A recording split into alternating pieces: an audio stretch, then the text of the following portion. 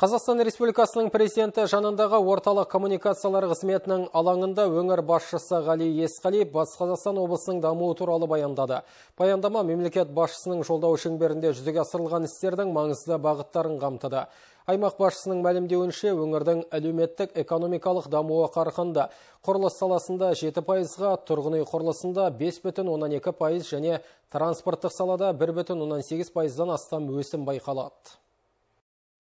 Биылғы 10 айдың қорытындысы бойынша мұнай газ конденсатын өндіру көлемінің және КПО BB компаниясы инвестициясының азаюына байланысты өнеркәсіптік өндіріс және инвестиция көрсеткіштері төмендеп кеткен. Экономиканы әртараптандыру мақсатында өңірде жалпы сомасы 1 триллион 600 миллиард теңгені құрайтын 70 инвестициялық жоба жүзеге асырылуда. Сонымен қатар 324 шақырым жол салынды. Егер өнеркәсіптік өндіріс көлемін 1994 жылға көрсеткішпен салыстырсақ, 258 есе өсім байқалады. Ал негізгі капиталға жыл сайынғы инвестиция көлемі 2 миллион 800 мың теңгеден 481 миллиард 500 миллион теңгеге дейін артқан. Жыл санап облыста мал басының саны көбейіп келеді. Биыл жалпы егіс көлемі 565 мың гектарды құрады. Аграрлық саладағы өнімділікті жақсарту үшін облыстың фермерлері егін салуда озық технологиялар мен жоғары өнімді ауыл шаруашылығы техникаларын пайдалануға көшуде. Биыл 6 мың гектарға дейін суармалы жер қолданысқа енгізіледі. 5 жылдан кейін көрсеткіш 50 мың гектарға дейін жетеді деп күтілуде. 10 айдың қорытындысы бойынша мемлекеттік бағдарламалар аясында жалпы құны 36 миллиард теңге болатын 1300 жобаға қолдау көрсетілді. Сондай-ақ өңір басшысы облыс тұрғындары үшін медициналық қызметтер қатарының кеңейтілуі, жаңадан тұрғызылған білім беру нысандары және өңірде жүзеге асырылған маңызды мәдени спорттық шаралар жайлы айтып өтті. Облыс әкімі Ғали Есқалиевтің орталық коммуникациялар қызметі алаңындағы баспасөз мәслихаты туралы алдағы шығарылымда тарқатып айтамыз.